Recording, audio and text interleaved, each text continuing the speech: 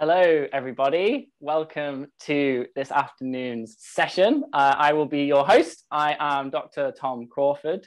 I'm a maths tutor uh, here at the University of Oxford. I'm based at St Edmund Hall, which is one of the colleges at the university.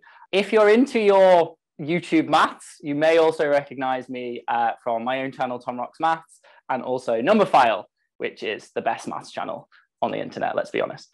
Um, so uh, today, uh, we are going to be talking about the big question, do we see color the same?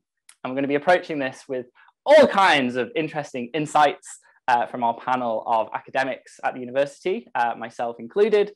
Um, we have lots of interactive activities uh, that we'll be sharing with you in the first half of the session to get you thinking about the question in different ways. So I'll be looking at a color coding, well, setting you a color coding challenge and talking about computers and how they maybe see color. Um, we've also got a uh, animal senses quiz, which I'm really looking forward to, uh, and also an art science investigation. So lots of exciting things. Then in the second half of the session, uh, that will be your opportunity to ask all of us questions. So um, I think you only have the Q&A feature. So hopefully you'll all get this correct. But if you want to send in a question, you have to click on Q&A and send in your question. Uh, and they will then be filtered down to me and I will relay them to, to our panel um, of experts. So let's meet uh, our fantastic panel. So I think Taya you're going to go first. You'd like to say hello to our audience. Yeah, hi everyone. I am Dr. Tea Ghigo, and I work in the conservation department at the Ashmolean Museum in Oxford. I am a postdoctoral researcher, and my background is in heritage science. And this means that I use science to study and investigate the materials of art and archaeological objects here at the Ashmolean. Okay, so historical stuff, archaeology, heritage in particular, anything around that kind of aspect uh, to do with color, send those send those questions in for for Taya. Uh, and Tanisha, would you like to say hello? Hi, I'm Tanisha. Um, I'm fortunately or unfortunately American, as you can tell by my accent. Um, I just finished my PhD in the Department of Zoology this past October, where I looked at how badgers use their sense of smell to communicate with each other, especially when they're trying to, you know, find a partner. Um, and right now, I'm working in the Mathematical, Physical, and Life Sciences Division, where I help various departments, um, like the Math Department and also Zoology, with gender equality. So anything to do with animals, in short is going to be send those questions. If you want to know about animals that see in cool ways. Tanisha is going to be your go-to uh, for those kinds of questions, I'm sure. Um, right now, as I mentioned, the big question is: Do we see color the same? And something that's really important when you're sort of an academic or you're even a student at, as you progress to, to a higher level, such as at university, is to actually think a lot when you're asked a question like this, rather than immediately coming up with an answer, is to critically analyze the question and think a little bit more like about what the question actually means. Because of course questions can be interpreted in many different ways. Um, so with this in mind uh, taya what do you sort of think of when you when you hear this this question do we see color the same? Well the first thing that jumps in my mind is that we really need to think about who is we well, from my perspective, right, because I am investigating at a crossroad of history and science, heritage and science. So we could mean many different things. It could be we nowadays in 2021, or could be someone else that lived in Egypt many, many years ago. So first thing to think about, who is we? Who are we talking about? And I'm guessing, Tanisha, we to you is animals, badgers in particular, perhaps you know, like you said, we can be humans versus animals, and then there's different types of animals like insects versus larger animals.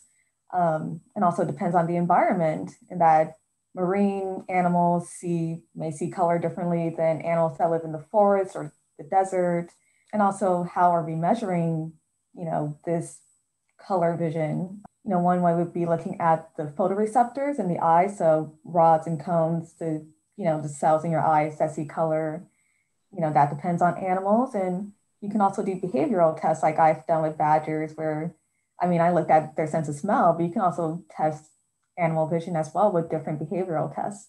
And I think sort of on, on that topic as well, like the interpretation of the question, the fact that it says like the same, like what do we mean by that? Do we sort of, as you were hinting at, Tanisha, do we mean do you know are we saying do humans see color in the same way as a badger for example? Is that what we're asking here? Or are we just focusing on one particular species? So there's lots there's definitely a lot of different ways that, that you can interpret this question.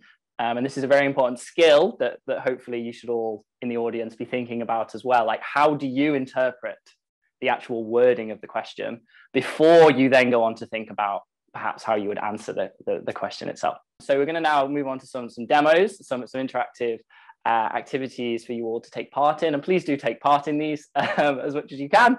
Um, so I think I'm going to kick us off, actually, aren't I? And obviously, I'm going to talk about maths. I couldn't resist any opportunity to, to talk about maths. Uh, and what I would like to talk about is actually how color is interpreted by computers. So we, in this context, is I'm sort of thinking about how do computers see, see color and interpret um, color. So I'm going to be writing on my board, got my, my chalk ready. So one of the ways that colors are represented um, on a computer, and if you've played around in Photoshop or the more budget version, Paint, which I think is now discontinued, which is a very sad day where that happened. But I grew up playing around in Paint. You, when you have a color, you try and select a custom color you are sometimes asked to input the RGB value. So you have um, these three numbers, RG and B, in a bracket like this. And what this represents is the amount of red, the amount of green, and the amount of blue that you want in your color. And then you kind of mash them all together and you end up with purple or white or whatever it is that, that you want. And all colors can be made through combinations of these three. Um, and the scale um, and some of you may recognize this, goes from zero up to 255. So uh, as a very simple example, if we take white, which is kind of everything at once, white is all colors uh, mixed together, then the uh, RGB value for white is going to be 200. You want all of the reds, all of the greens, and all of the blues. So the way a computer would see the color white is 255, comma 255, comma 255. Very different, of course, to how we see the, the color white. So this is one way of representing um, a color through these numbers between 0 to 255. Now, in um, web browsers, there's, there's a different code that's actually used to um, tell you which colors are present and to represent these different colors.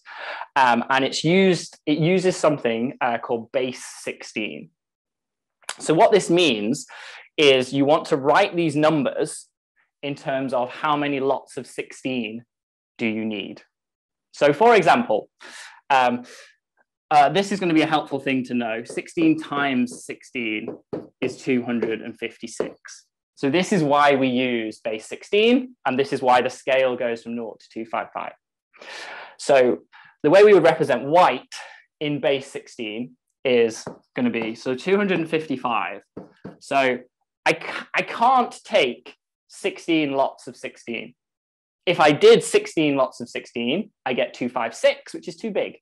So all I can do is take 15 lots of 16. But then that's 240. So now I'm 15 short. So what I need to add on is 15 lots of one. And for the more mathematically minded amongst you, the reason we consider numbers of 16 plus the amount of one is because 16 is 16 to the power one and one is 16 to the power zero. So this is what we mean when we work in base uh, 16.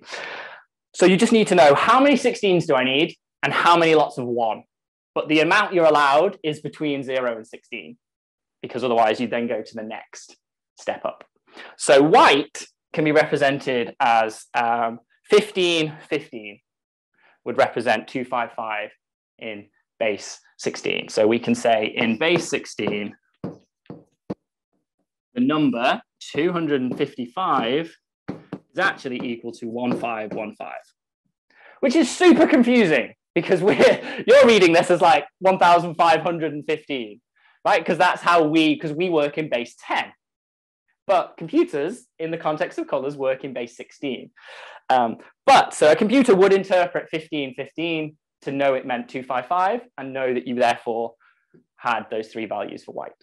Now, to help us get around this, sort of because the fact that humans are the ones programming these things, what we do is actually, as well as using numbers, we use letters.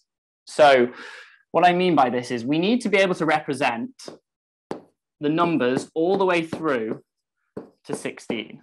So 8, 9. Right, so I can't go to 10 because here I'm allowed anywhere from 0 lots of 16 up to 15 lots. So for 0 through to 9, we use the actual numbers. But then we don't want to write 10 because that gets confusing, like a misreading of this. So then we start to use letters. So we represent 10 by A, we represent 11 by B, 12 by C, 13 by D, 14 by E, and then 15 by F. So now I can represent the numbers 0 through to, to 15 through a single uh, character. So what this means really for 255 is this is F, F. So the web-based color that a computer reads for white is 255, 255, 255, translated into our base 16 secret code becomes FF, FF, FF. So that's another way that a computer reads the color white. It can either read the amount of red, green, and blue and gets you a color, or you give it a six digit code, which is translated or de deciphered like this into the RGB, and then you turn it back into your color. Now, I'll show you another example, and then I'm going to ask you to decode some of these for yourselves. Um, so I'll leave up the letters on the side, um, and probably that. So I'm going to look at the color. What example have I got for you? Let's look at purple. So purple in RGB values, um, you need a little bit of red. Actually, this is testing like art knowledge. Which two colors do you mix together to get purple? So you need a little bit of red. Uh, so it's one, two, eight. You have half of the reds. Then you actually have uh, zero of the greens and you have half of the blues. So that gives you the standard purple color. Obviously, you can get different shades of purple by slightly changing these numbers. But this is your standard purple color, again, on, on like something like Photoshop. Um, so now you need to translate this. So the first thing is to write this in base 16. So we need to know how many 16s go into 128, um, which I think is eight. Uh, I'm going to double check that so I don't do this wrong. Yes, it's eight. Eight times 16 exactly. So in base 16, this is equal to um, 8, 128 is 8 times 16. And then we don't need anything else. So we don't need any of the ones on the end. So purple, therefore, is equal to 8, 0. And that perfectly translates as the number 8 and the number 0. So the final code for purple is 128, which is 80. Then we have nothing, which is 0, 0. And then we have 80 again. So white was six Fs in a row. Purple is 8, 0, 0, 0, 8, 0. All right, now um, I'll give you one to work out for yourselves, um, and then we better move on. So let's do silver. Um, right, and I'll leave this up so you can all see this. So silver um, has RGB code 192, 192, 192. So what I would like you to all think about, and you can do this whilst we're listening to the next uh, mini presentation. Though definitely make sure you pay attention. But if for those of you who would like to try this out, try and convert silver, which is 192, 192, 192. I'd like to know which six letter code will the computer read silver? How will the computer interpret silver? So let's now um, move on to uh, Taya, you were going to go next for us, weren't you? And you're going to look at the this question about um, how do we interpret color from the perspective of a heritage scientist. So I'll pass over to you.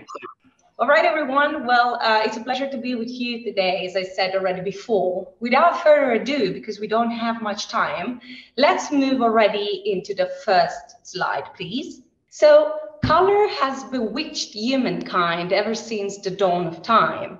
And different sources of color have been used throughout history for painting, writing, and decorating. In antiquity, colors were extracted mainly from natural sources, such as the deep blue that you can see on this slide, extracted from the mineral lapis lazuli, which was very rare and was traded at a high cost. Another example is the Tyrian purple that Phoenicians started to extract from a particular species of sea snails. Tyrian purple too was very costly because tons of snails had to be sacrificed in order to produce only a few grams of the pigment.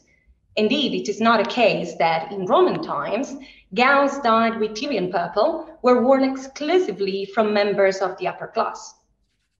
Of course, in producing colors from natural sources, our ancestors were limited by the set of tints Mother Earth provides. However, things started to change after the Industrial Revolution. Next slide, please. So the technological progress led to the creation of many new different colors thanks to chemical synthesis.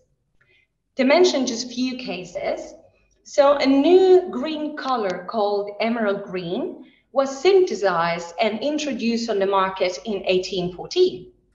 And a new purple color called mauveine was introduced in 1862. Thanks to the Industrial Revolution, new colors and hues were about available at a cheap cost. And these clearly impact the way humankind started perceiving color. For instance, when I nowadays think about color, I do not depict in my mind only the seven colors of the rainbow or the other colors available in nature, but I actually think of many more tints and shades and hues. Um, think, for instance, uh, to, for, for about the last time you went shopping for a green t-shirt.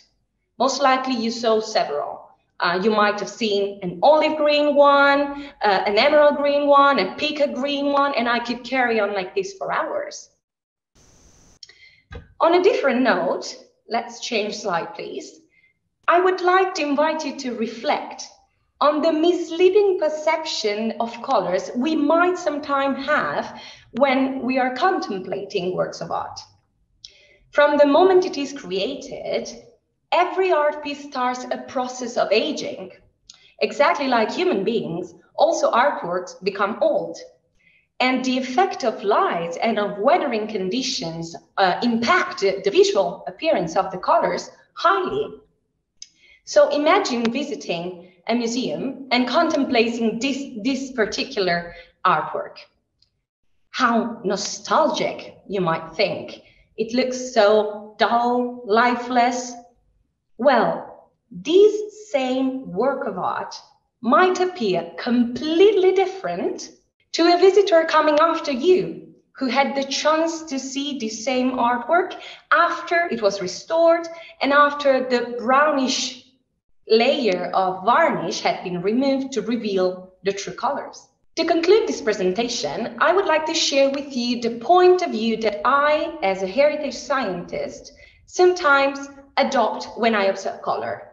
So on the left is a Spanish Gothic altarpiece, the way you see it normally in a church. And on the right are two cross sections that were obtained from this altarpiece. So what we did is we used a scalpel, a surgical knife, to collect some painting material from the altarpiece. Then this sample was embedded in a resin and polished to reveal the cross section. So you can actually observe that the painting is made of many different layers. The top layer corresponds to the last color that was applied by the artist. And the bottom white layer corresponds to the ground that was applied as a preparation before starting painting. Let's go on to your challenge. On the left are two of the panels from the altarpiece I showed in the slide before.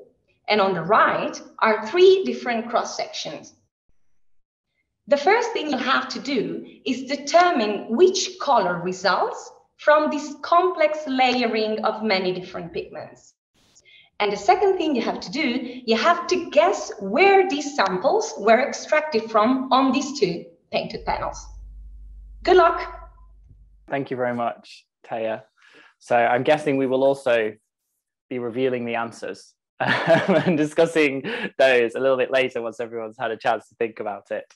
Um, right, so let's move on to Tanisha before we get around to, to answers of sort of things at the end, I think is how we'll do this. We're going to be doing an animal quiz about how animals use visual communication, which is obviously seeing things, and olfactory communication, which is their sense of smell. So I'm going to do kind of a rapid fire quiz. Um, so the first question is, Animals use visual, visual signals for many reasons, including to warn off predators. However, which of these colors is not common in warning signals? Is it red, white, green, or black? So which color is not usually found in warning signals? So you have a few seconds to answer this and then- Am I allowed to answer? Oh, yeah, everyone. Am I allowed to answer? I don't. Um, I I want to say green because green is like go and is like things are good. Would be my guess. I don't know if anyone else is thinking along these lines. I agree with you, Tom. Hmm, well, we'll see if you're right at the end. Okay, so next question. Some animals can see in color better than others. Which of these animals has the most advanced color vision? Is it the African elephant, the mantis shrimp, the orca whale, or the brown bear. So which animal has the most advanced color vision so they can see the most colors? Any ideas from the panel? I know this one, so I'm staying quiet because okay. I know the answer. I don't know. I would think the, the mantis shrimp just because it reminds me of the Little Mermaid and it was pretty colored down there. So I guess. Yeah, that's a good point. And like your the animal's environment can affect color vision. So for example, with badgers that live underground, the, their scratches up their eyes, so they can't really, badgers can't really see in color. So next question, sometimes animals use their sense of smell alongside or instead of visual signals. Which of these traits can be detected by smell? So is it social group, reproductive status, dominance, health, or all of the above? So what can animals tell just by smelling each other? I think they can definitely dominance, reproductive status, probably social group, maybe health. I'm unsure if it's maybe it's all of the above. but I but health health is perhaps what I've never heard of before. Is what I'm thinking. I think it's all all of the above, definitely. So now we go on to my study animal, the European badger. So European badgers rely a lot on olfactory communication. So communicating by their sense of smell. Their sense of smell is how many times greater than ours? Is it 100 to 200 times, 400 to 500 times, 500 to 600 times, or 700 to 800 times greater than humans? I know they have a really good sense of smell. I feel like every animal that isn't a human has a really good sense of smell. Um, so I'm going to go big. I think it might be the big one if I were to, to have a guess. Okay, so you think 700 to 800 times? Yeah, I think so. I think so, yeah. What about you, Taya? I am really not as good with numbers as Tom is, I'm sure. So I will go with anything he decides to go with. So I'm just agreeing with him. Okay, so the popular guess is 700 to 800 times better than a human. So green is not a common color in warning signals. So red, white, black, and yellow are the most common warning colors. Um, for the animal that has the best color vision, the mantis shrimp is thought to have the most advanced vision of any animal because they have lots of photoreceptors. For its sense of smell, animals can tell all of the above. So social group, reproductive status, dominance, and health can all be detected by um, sense of smell because of bacteria and hormones and all that gross, smelly stuff. And um, a European badger's sense of smell is thought to be 700 to 800 times greater than a human sense of smell. And that's because badgers live underground and all of that dirt scratches up their eyes. So, you know, and plus they're nocturnal, so there's no point in being able you know, they can just can't really see that well anyways. They can see like shapes and figures, but but like not really much in color. So how did everyone do? They did well. I'm, I'm seeing it come through here. Mo- well, well, I say this. Most people went for white, apparently, on the warning one. So they didn't listen to me. My complete guess. Oh, it was a guess. I was guessing. Um, I was tempted by white, to be fair. I was torn between green and white. Um, but apparently, most common was white. Um, most common was the shrimp, which which I did happen to know. And Taya, you, you did guess that one as well. Um, all of the above.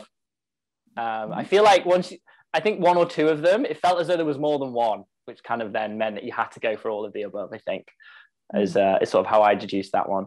Uh, and then 700 to 800. So my guess was correct. and that's also what everybody seemed to go for as well uh, for that last one. So I think I think our, our audience did very well. You know, come study biology here.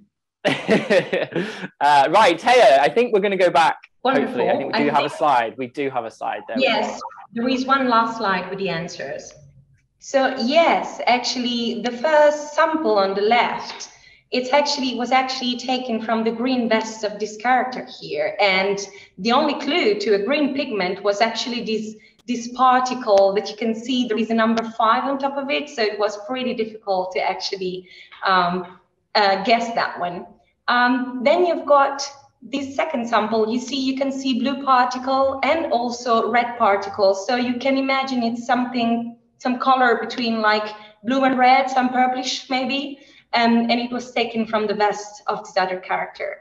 And finally, my favorite sample, it was this one, so many different layers. You got the reds, then you've got a golden layer, then you've got a white, and then on top you've got a blue layer. And this was actually taken there at the edge between the red floor and the blue bed with the golden decoration, which explains the reason why we have so many different layers of lapping here. So. They were tough, but they were fun. I like it. Thank you. Yeah, uh, right, and then finally, I guess I got to reveal my answers, haven't I, as well? So uh, so silver, I think a lot of you, most of you, I think got the correct answers. Very well done. If you said uh, the answer is going to be C0, C0, C0. Um, and quite a few of you, I think I saw, also wrote 12, 12, 12. Now, what you've done there is that 192 is indeed equal to 12 times 16. But remember, we need to emphasize that we have zero lots of one you have to give the zero. So that would be 12 zero would represent 92. So you need to convert 12 to C. So that's why it's C0, C0, C0 rather than um, 120, 120, 120, because you need six um, symbols rather than 12. But I think most people did get that. So well done if you figured out what's going on with silver. All right, I think it's time for some questions now. We did promise you in the second half we would answer your questions. Um, so let's just dive straight on in. And remember, you can keep sending these in through the Q&A. Um, they're getting fed through to me on a, on a document here. Um, so we've got one here, which has come from an anonymous person, which is for me, which asks, um, are hexadecimals used in computing for colors in specific pixelated images? Uh, the answer is yes. So if you have a, um, an Apple computer, there is um, an app called the Digital Color Meter. So if you search, you can find this and then you open it and it's really fun because you just move your mouse around any part of your screen and it gives you the RGB code for any color on that particular pixel on your screen. Uh, so it's very fun. It's used a lot by designers and creative people who work on Photoshop, for example, because you can immediately the sort of like it's called the eyedropper tool as well. You can immediately see what the color is, and then you just type in either the RGB code or the hexadecimal six character code, and then you can use that color in your in your work when you're on Photoshop or, or other similar um, software. So yeah, it is. You can literally take any image, and you can your computer will tell you the the required either RGB or the hexadecimal code, and both of them are used. It very much depends on um, what what you're doing really. So like I've used both on different projects in the past. So I've been told use this color, here's the RGB code, and I've been told use this color, here's the hexadecimal code. Um, so I don't think there's necessarily a standard way of doing it, which is why I represented both of them uh, when I was talking about that. Okay, um, let's see what we've got here. Um, I've got a question here. Oh, this is a good one from uh, Shukab. Apologies if I'm saying that wrong, uh, but thank you for your question, uh, which I think is aimed at Tanisha. It's about animals. How does an animal recognize a color from its sense of smell? See, I think it could be possible. So, like in the brain, there's different like nerves that affect like your sense of smell and your sense of vision. And so, also, animals can learn. There's a whole field about like animal cognition, which is how animals think and learn. And so, animals could, you know, theoretically learn like, oh, this is, you know, a you know a plant because or this is a pear because this smells like a pear or something like that um, and that's also really useful for certain animals like you know we were talking about the you know how certain colors are used as warning signals and green is usually used as a signal for being an animal being poisonous so usually animals can like learn by trial and error, unfortunately. Mm. Like, oh, this I shouldn't eat this frog because it's green, and if I eat it, I'll get really sick and die. I was just going to say, I certainly think that I would associate certain smells with certain colors. So, like, an obvious one being like the smell of freshly cut grass. I'm immediately like picturing green, probably because of grass. Um, and like salt water, like being by the sea and smelling the sea air makes me think of blue. Oh, yeah, that's like associations with smell and that's a, a, whole other thing. So if you want to work in the perfume industry like like a database about like oh people associate this smell with masculinity or whatever. Thank you. Um Tea, i've got a good one for you here. It's coming from Mazen m can you describe how humans say 1000 years ago would see color? Would it differ from how humans see it today?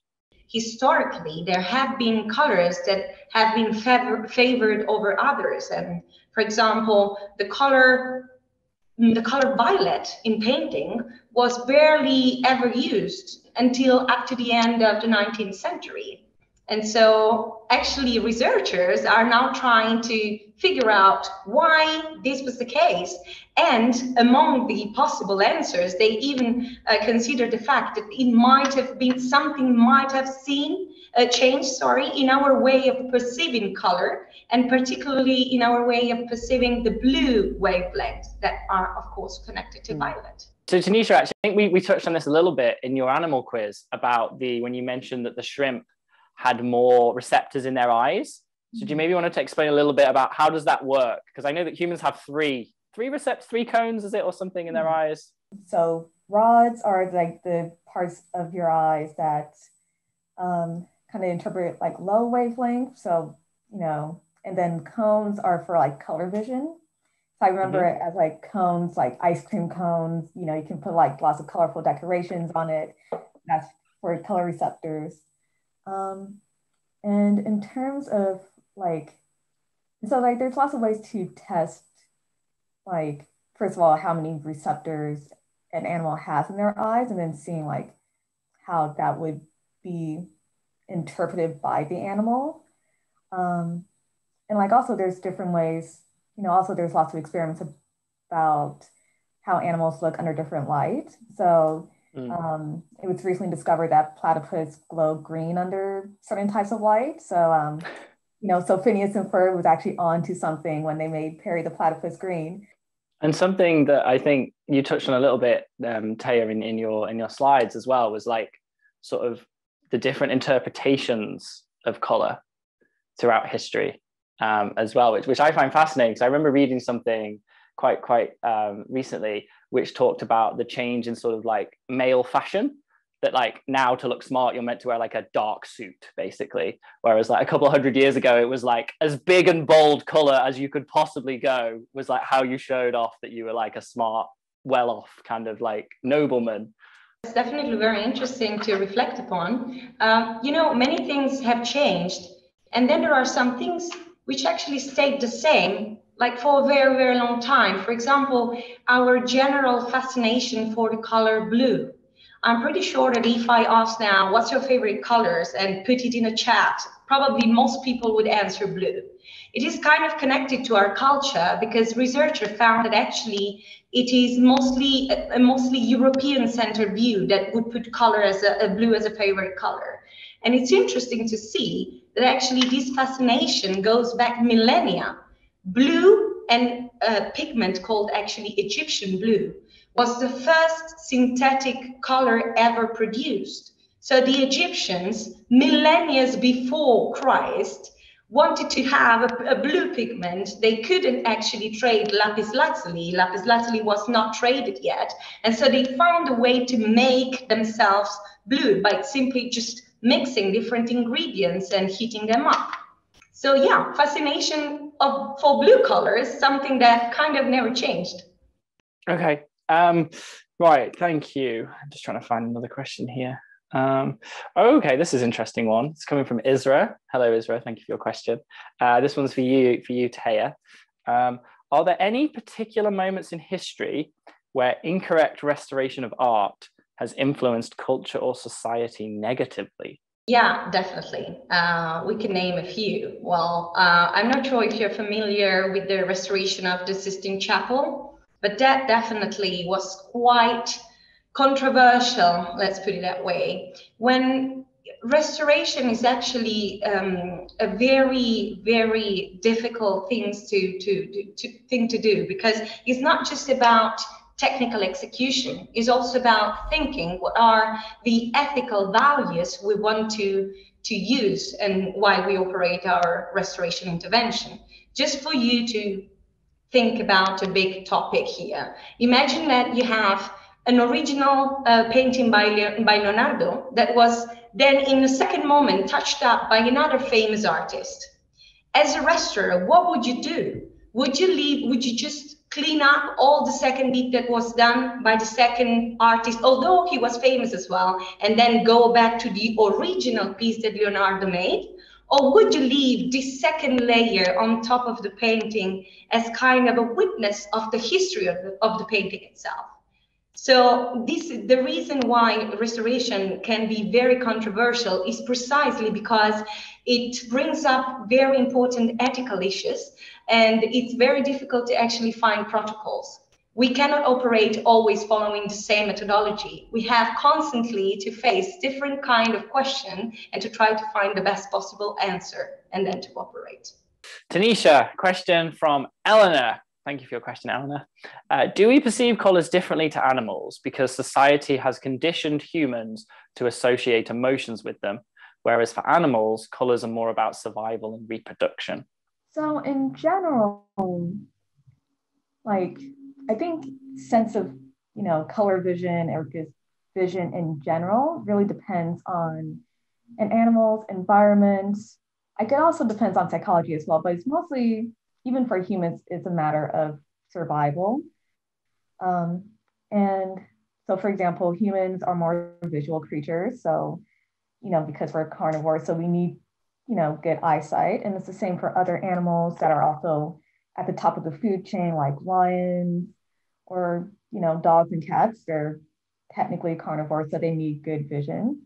Um, and it's thought that dogs kind of see in slow motion. So that way, like if you know, it's like when you throw, you know, a ball for a dog to catch, like they just somehow know exactly where to go, even though the ball's going super fast. So, you know, so that's because it's thought that animals, that dogs can see in slow motion. Um, but yeah, I think like for animals in general, including humans, like we, it is about survival, but also like where you are in the food chain because some animals need really good vision to find their prey.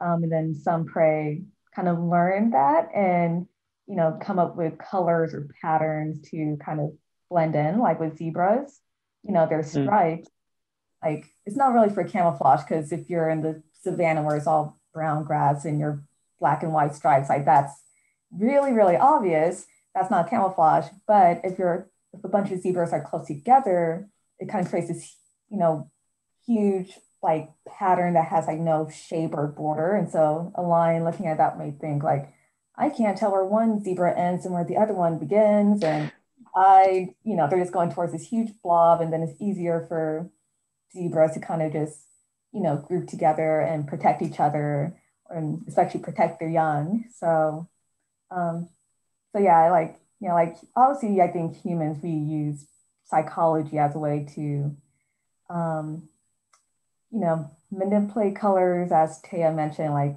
you know, all of that. But, you know, we use, yeah, I think we use um, color and vision a lot for survival. It's just mm-hmm. we don't really think about it as much because we have more ways to protect ourselves compared to animals.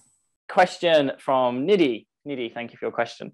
Uh, to what extent does our language affect how we see or understand color?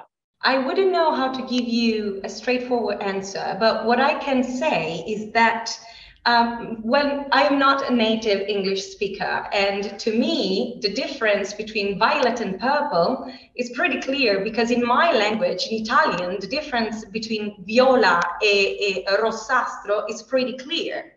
But I learned this year that it's actually not like this in England, and people in England have more issues in actually defining what's purple and what's violet. Now, Tom, I'm pretty sure that you can give us a code for these and just you know this topic, yeah. this question once and for all. But in general, there is a lot of confusion in the English culture about purple and violet, and I don't find the same confusion in my language, for example. This one's coming from um, Genti again, apologies if I'm butchering your name. Um, does the scientific point of view limit our ability to explore this question at a deeper level? That is a very interesting question, very thought provoking question. So, does the scientific point of view limit our ability to explore the question? So, I'm guessing here, at least the way I'm thinking about this is Genti's kind of asking, like, because we're thinking about it scientifically, in terms of like, can I see, especially me talking about coding and specific numbers and different pixel values. That's like a very scientific approach rather than thinking sort of taking a step back and coming at it. And we've touched on this a little bit about like emotions attached to colors or the changing um, way colors are perceived. Um, I don't know if either of you have any thoughts on that. Like mantis shrimp can, you know, like you mentioned before, they have the most advanced color vision. And so like so yes they can see colors that we as humans can't and they can perceive like the tiniest variations in like we were talking about purple versus violet they can see like all the different like tiny changes in that. Um, but i think a lot of times as scientists we kind of fall into the idea of well what's the point? Like we want to know okay animals can see colors but what's the evolutionary advantage of it? Or how does it help rather than just thinking about, oh, well, that's just a cool question to ask. Why, let's just see what colors they can see. Um, and part of that's due to like politics and academia and getting funding and they funding bodies want to know like what's how will this change the course of science but um but yeah i think a lot of times we as scientists like to think well we don't have a really good reason for why we're asking this question then let's not bother asking it. Hey, anything to add as as possibly less of a scientist than us two? I hope you don't mind me saying. well, um, I I think that um, I don't remember the name of the person asking this question, so sorry if I can't address you personally. But you might be interested in the psychology of color. So there is a whole, you know, branch of research which is researching the the psychology of color. So the how we connect certain colors to our emotions, for example. Now, it is still kind of uh, following scientific method because all the research, even if it's not research in, in science, in pure science, is still following scientific method. But um, if you're interested more in, in this kind of question, like how our emotion links to color and, and these kind of topics, well, then try to Google psychology of color. Maybe you're going to have a nice time. You. Um, right, I think we'd better sum up, you know, um, seeing as we're supposed to come to some kind of answer on the question as to do we see color um, the same. So I suppose I, I, I, will I will dive in first and attempt to, to answer this question. Uh, I think the answer is no, we do not see color the same. Um, and there are lots of, we haven't even talked about this. I meant to bring this up and I forgot until now. There was the thing, was it like four or five years ago with the, the dress? Is it blue or is it white? That was the whole thing circulating online. And obviously, that was just people interpreting things differently. So that was a very obvious example of humans, uh, the same species, seeing, seeing things differently. Um, but uh, I guess I, so, so that's one example specifically with humans. And another way I would think about it is there are so many, again, looking at what I talked about with the, the way that computers would interpret colors, even we've seen here, even within programming, there are two ways of telling a computer how to interpret a color. So clearly, again, like the same thing, interpreting color can be done in very different ways. So, so for me, I think it's a resounding, we do not see color the same. Tanisha, what do you think? What's your sort of concluding remarks after our discussion? Um, I think maybe in the same species, yes. For example, all badgers may see color the same, which is to say not very well. Um, but I mean, there can be similarities within a species, but if we're comparing different species, then no, because we just mentioned like animals can see a vast range of colors because of survival, because of their environment, because it helps them find mates or avoid poisonous things that may kill them. Um, but yeah, I think maybe within a species, yes, but different species, no. Okay, that's good. I like that. That's a good answer. Um, finally, what do you think? Yes, my final remark is that I think we should um, think about what, what do we mean by see in the question, do we all see color the same? See could be the biological ability to actually perceive color, to see biologically, because you do have the receptors. So do we all see the same or not? Well, in this case, it's probably easier to answer this question, and Tanisha just did it right now. And then there is, do we all perceive color the same? And clearly when it comes to history, well, humankind has perceived different colors in different ways, depending on many different factors, and culture is one of those. Okay, right, brilliant. Thank you so much to both uh, Tea and Tanisha for being our, our expert panel of academics. Uh, it's been fab. I hope you've had as much fun as I have, and I'm sure as our audience have uh, discussing this big question today. Uh, thank you everyone for joining us. Um, do, if you want to know more about this discussion, we um, actually over on the Oxplore website, which is oxplore.org, there's an entire section of the website devoted to Do We See Color the Same? And you can watch another live stream event, which I also happened to host a few years ago with other academic experts, where we talked all about the same question. So there's there's so much you can dive into with this, and there's lots of other resources there uh, exploring this question, and there are like hundreds of other similar questions. Um, so it's a really good resource if you're looking for that extracurricular stuff um, to sort of you know really dig your teeth into um, outside of your work at school. Um, so again, thank you so much for our panel. Thank you all for joining, and uh, we'll see you all very soon.